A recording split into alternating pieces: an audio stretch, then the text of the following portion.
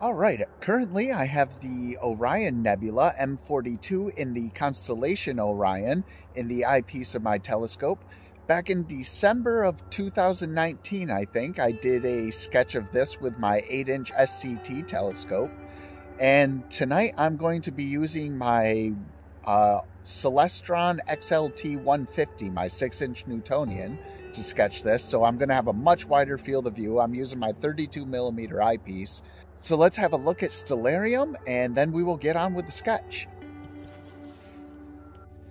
M42, also known as the Orion Nebula, can be found in the constellation Orion.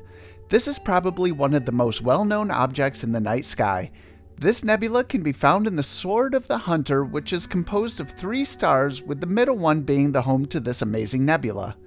M42 is the brightest star forming region and the brightest diffuse nebula in the night sky and can be seen with the unaided eye in dark enough skies. Being around 1300 light years away, it is also the closest star forming region to our solar system. The estimated size of M42 is around 24 light years across. M43 can also be seen, but it is much fainter. Technically, M43 is part of M42, but separated by a dark dust lane which made Charles Messier think that there were two separate objects. Now that we know where we're looking, let's get on with the sketch. I spent a few minutes just observing M42 in the eyepiece before placing any stars. I wanted to get an idea of the overall star pattern in the field of view, also making sure to lay out the stars I could see that were inside the nebula before doing any actual work on the nebula itself. I did the stars and the brightest part of the nebula without any filter. Then for finer, faint detail of the nebula, I put in my Orion Ultra Block filter and having the stars in place makes shaping the nebula a little easier. Also keep in mind with the filter this will dim the stars a bit. One last scan for any hidden stars and then we can head inside, scan it, and see the final results.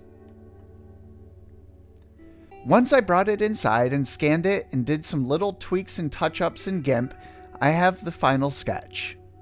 This was such a wide field of view and I'm pretty sure I had the whole sword of Orion in the eyepiece. While I had a good view of M42, M43 was very faint and almost not visible. I definitely couldn't see it without the ultra block filter in place. Also, no luck on spotting the Running Man Nebula. I really like these wider views, but with Orion highly magnified or wide field are all very impressive. As I said in the intro, I included a link to the previous M42 sketch I did through the 8-inch SCT down in the description.